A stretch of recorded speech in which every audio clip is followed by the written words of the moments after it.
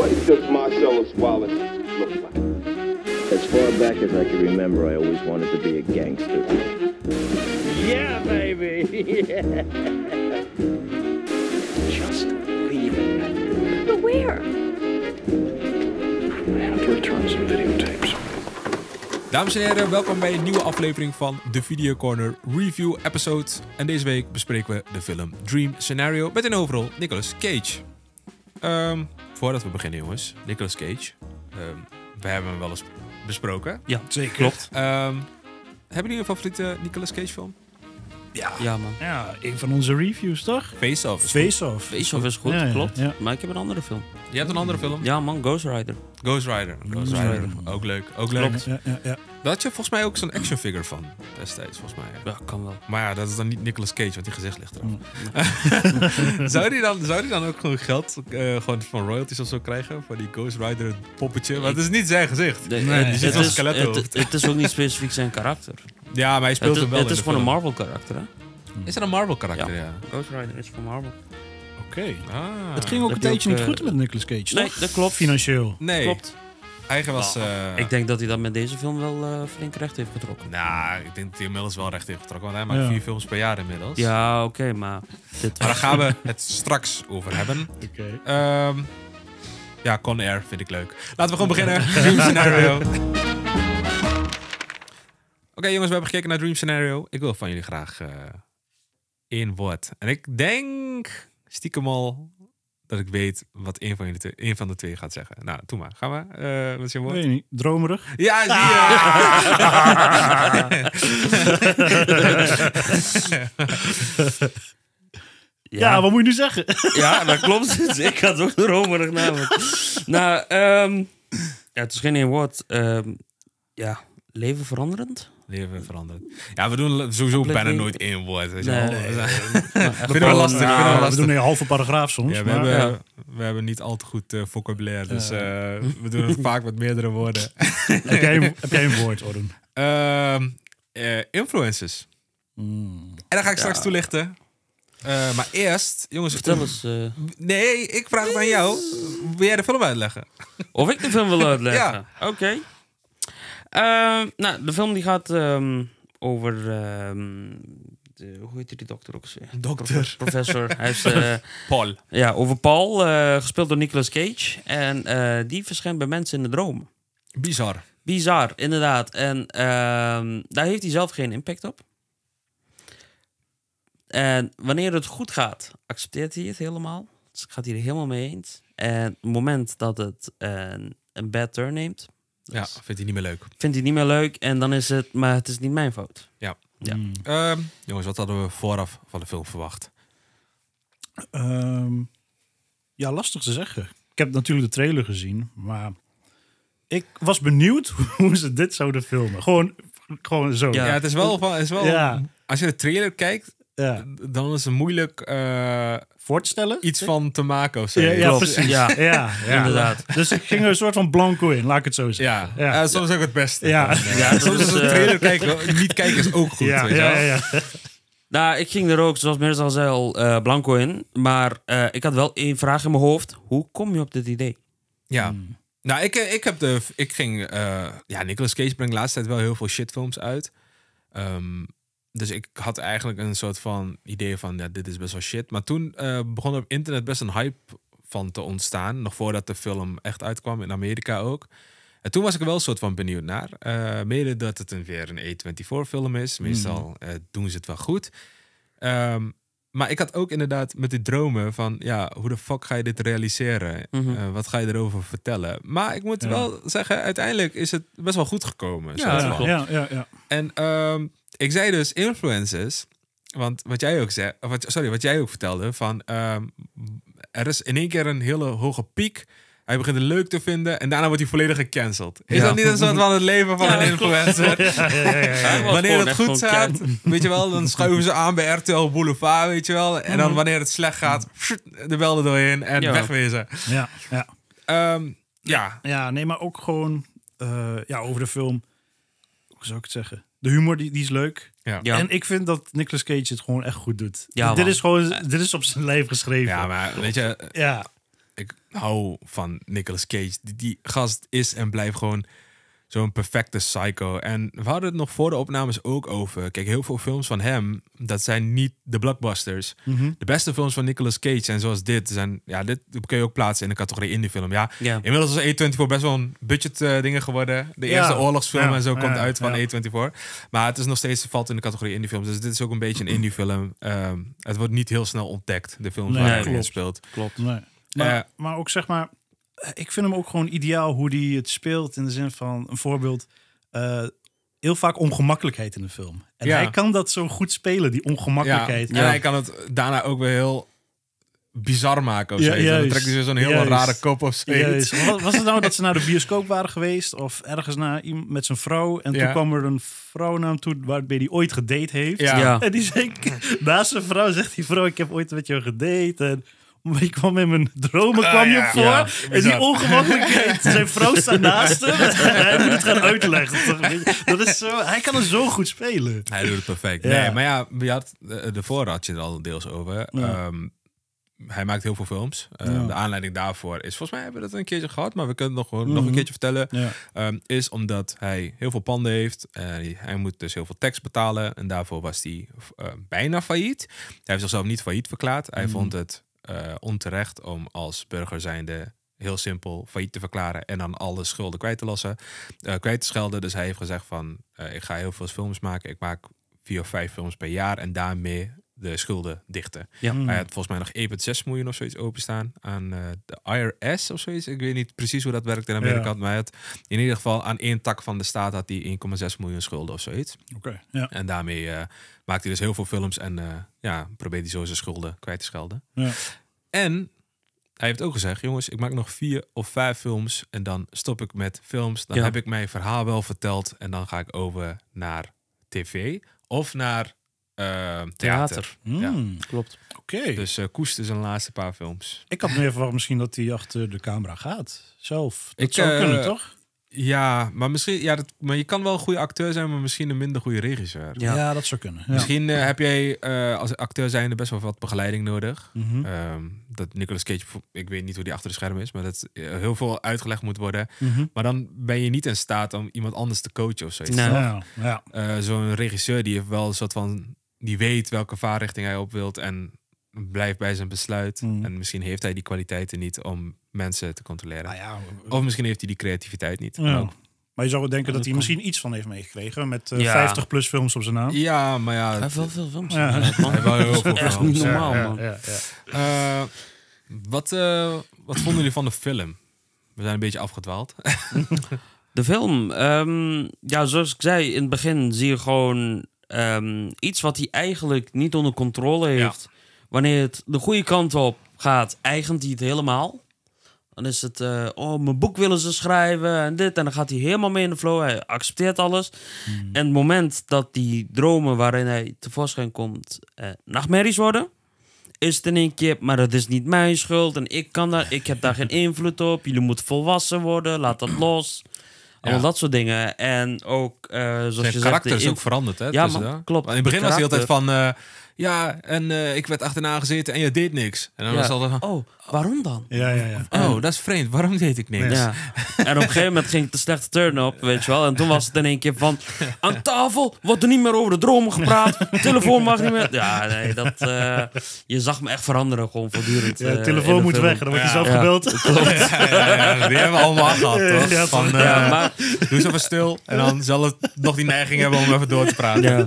maar ook die, eh, die, die- Jij zei net van dat hij die ongemakkelijke scènes gewoon fucking goed speelt. Ja. Maar er is ook een scène die echt dat, onge- dat hij in dat hoekje van die kamer staat bij, dat, bij die vrouw. Oh, ja, ja. Dat hij op een gegeven moment die Oh, vrouw dus eigenlijk seksueel... eh, ja. En dat hij dan op een gegeven moment ook... Maar dat, dat die vrouw dat na wil doen, weet je wel. En dat hij daar gewoon staat. En dan zie je hem zo heel awkward. Zo van, ja, maar...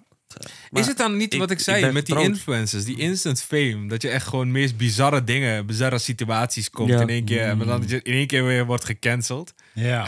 ja. Ja, het- Toch? Dat is toch een Komt- bizarre situatie als iemand jou in één keer thuis uitnodigt en dan gewoon een soort van een droom wilt naspelen. dat is toch raar? maar hij weet zich ook geen houding te geven. En daar Klopt. komt dan inderdaad wat Ja. jij ook zei, wat jij ook zei. Ja. Met eh, zijn ongemak, eh, hoe hij dat eh, overbrengt. Maar ik zou in zo'n situatie, ik zou echt optimaal misbruik van maken. Ik zou gewoon altijd zeggen van... Nee, niet, niet op die manier misbruik van maken. Je ziet me al raar aan te kijken. Nee hoor, echt niet. Nee, maar ik bedoel meer van, eh, ik zou bij elke ruzie in verkeer of zo, ik zou zo, ja, ik kom in je dromen, weet je wel? Ja, ja, ja, ja, ja.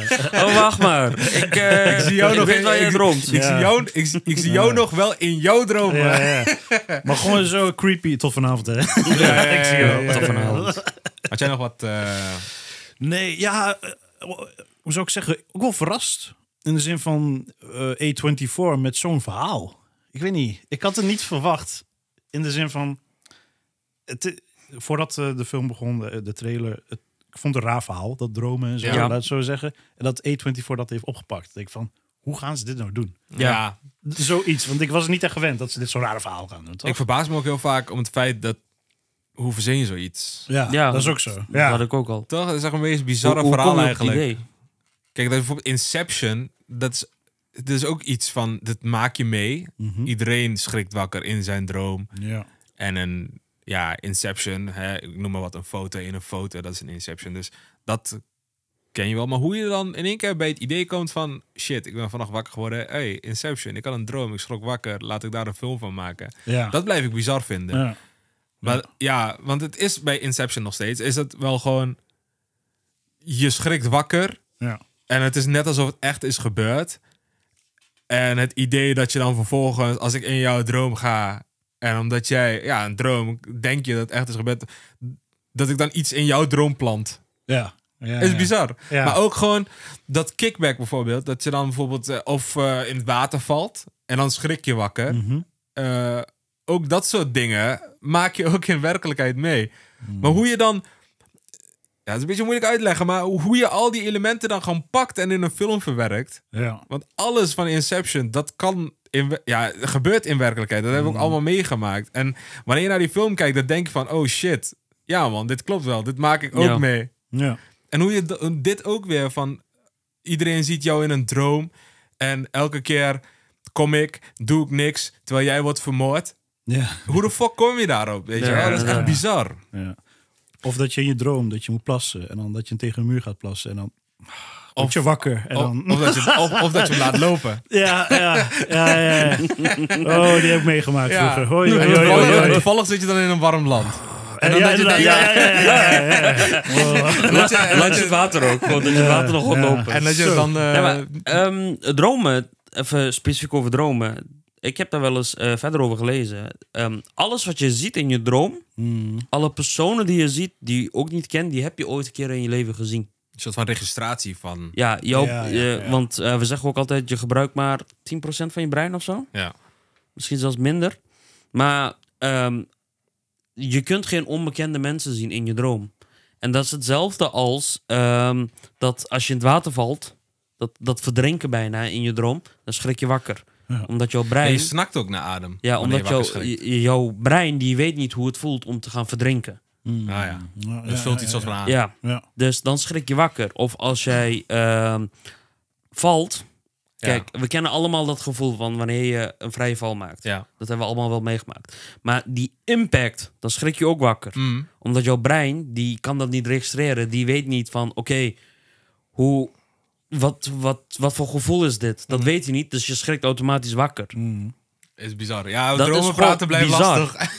Maar Zeker. ik weet bijvoorbeeld, ehm, jullie hebben nooit bijna een verdrinking ervaring meegemaakt. Nee, ik niet. Nee. Nou, ik, ik dus wel. Ik heb dat wel meegemaakt toen op, eh, op die school. En daar heb ik ook nog wel een paar dingen aan overgehouden. Dus ik heb wel eens dromen dat ik gewoon echt bijna echt gewoon naar adem te snakken onder Dan is water. jouw droom over snakken naar... Dan is jouw droom bij verdrinken heel anders dan die van ons. Want Ja. wij hebben het niet ervaren en Ja, wel. jullie schrikken dus wakker. En omdat mijn brein het wel ooit heeft geregistreerd, kan ik dat steeds terugzien in mijn droom. Ja. Oh, shit. Ja, Ja, dat is, Dat, dat is dus, eh, het is heel raar dat dromen. Dat, ja, ja. En ehm, ik heb ook wel eens gelezen, dan hebben ze een onderzoek. Als je bepaalde deuntjes afspeelt tijdens het slapen, maar echt met een goede stereo, Mhm. weet je wel, dat je dan je droom onder controle kan krijgen. Ja, Ja. Ik, ja, ik denk soms ook bij... Ja, dit wordt dus een droompodcast. Maar ik heb soms ook eh, het idee dat je soort van je droom wel controleert of zo, man. Ik althans. Ja, dat wel, maar ehm, eh, wat ik bedoel is Zonder dat je, muziek. dat je echt gewoon het bewustzijn van, oké, ik droom en nou kan ik gewoon doen wat ik wil. Dus laat maar zeggen dat je nou met deze mindset nu in de droomwereld zit en kan zeggen van, bam, ben rijk. Ja. Dat soort dingen. Dat is blijkbaar mogelijk.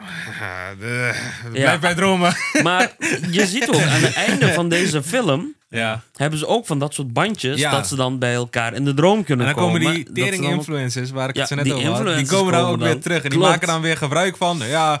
eh, Gaan ze ads- reclame ads- maken. Ads in jouw droom. Ja. Dat, dat die Ja, gozer daar bezig ja. is. Ja, koop nu. Oh, wacht even, dit ging niet goed. Even opnieuw, even opnieuw. Ja, koop nu dit. En dan zit Ja. anders zo te praten. Maar Ja, over dus- ads gesproken, kijk, Michael Cera die speelt ook in deze film. Daardoor, bij die vorige aflevering zei ik toch, ik heb Superbad gekeken. Daardoor kwam ik ook bij Superbad.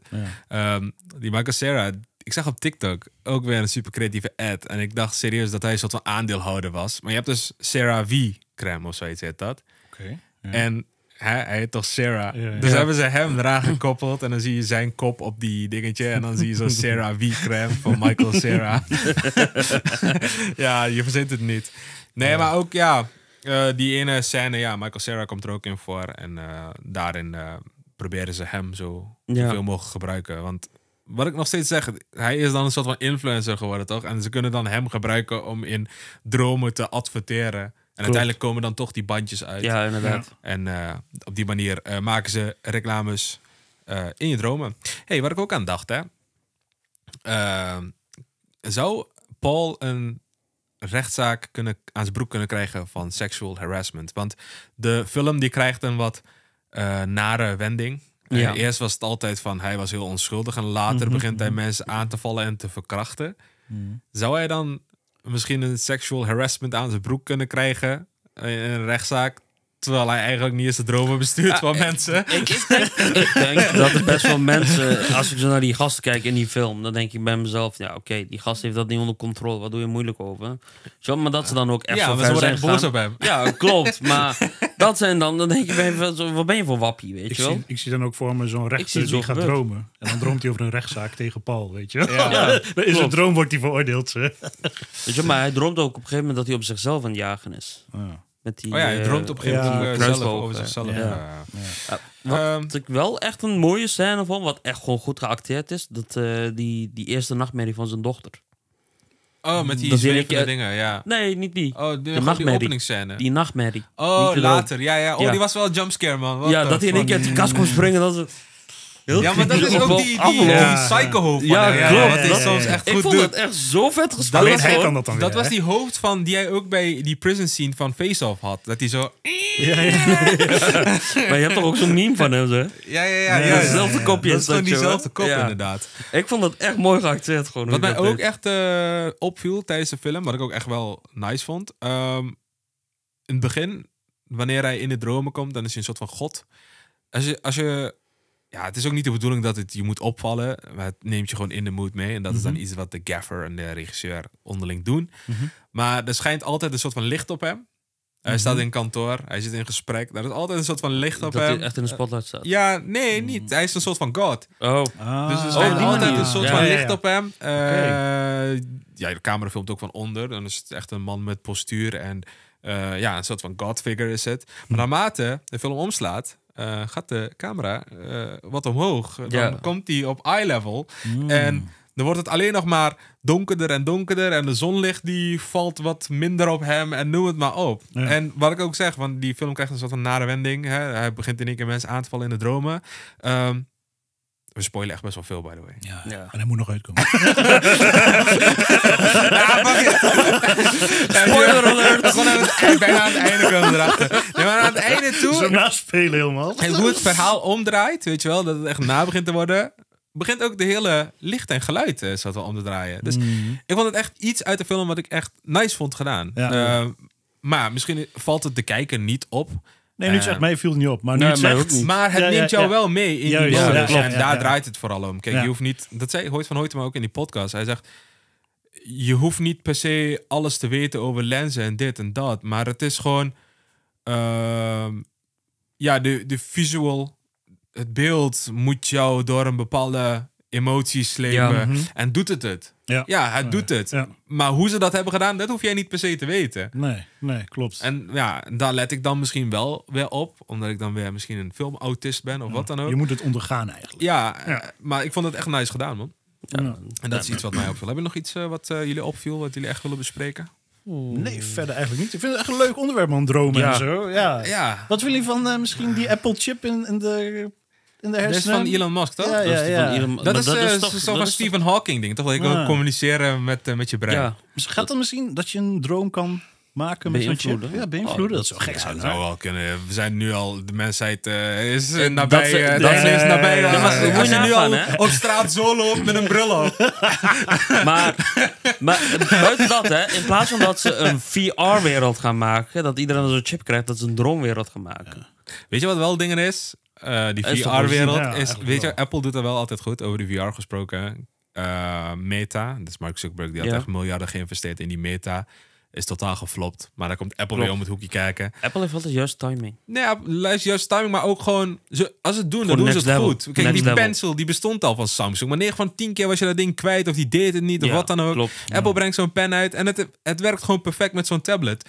Ehm, ik noem maar wat. Eh, zo'n Face ID of fingerscan. Iedereen zegt van ja, de Windows computers die hadden dat al. Ja, het werkte 9 van de 10 keer niet. En nu met Apple, het werkt gewoon perfect. keer. En, eh, Ja, Ja, maar zien hun de kans niet van om... Oké, ze hebben het bijvoorbeeld. Iemand anders wil Nee, maar- ontwikkelen. nee, maar Maak het bijvoorbeeld- beter. Nee, maar Meta die had dan bijvoorbeeld zo'n hele rare Meta-world gecreëerd. Dat is er niet Ja. nodig. Je leeft in het huidige wereld. En Apple heeft gewoon gezegd van... oké, we introduceren tech iets meer in het huidige wereld... in plaats van dat we een hele nieuwe wereld creëren. Ja, ja.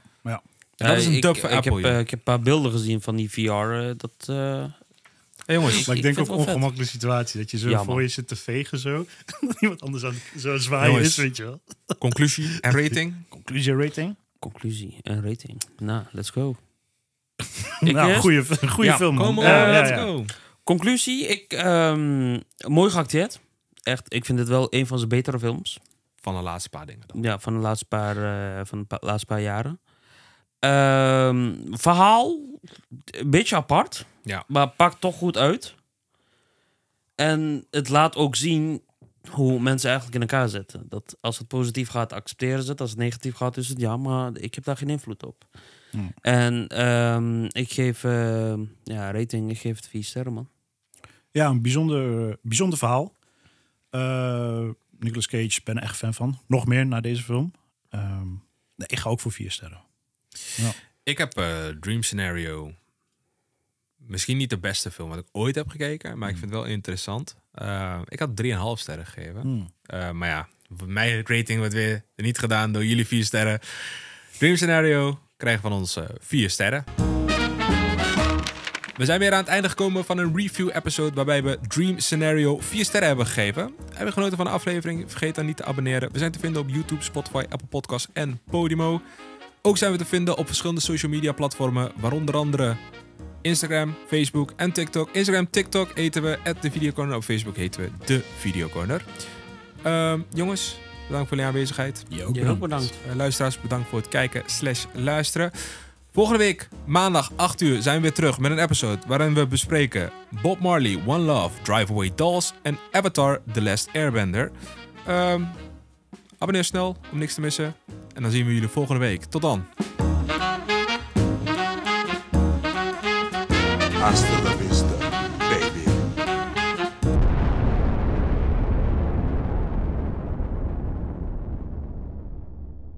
Heb jij genoten van onze aflevering en wil jij graag adverteren in een van onze podcasts? Dat kan. Mail dan naar adverteren@back-corner.nl